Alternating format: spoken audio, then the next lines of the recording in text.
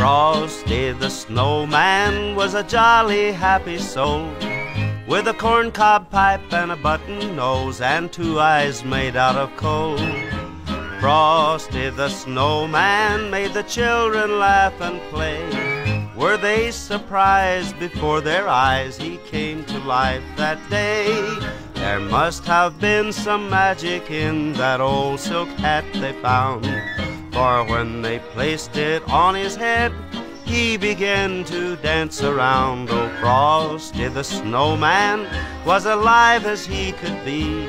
And the children say he could laugh and play just the same as you and me.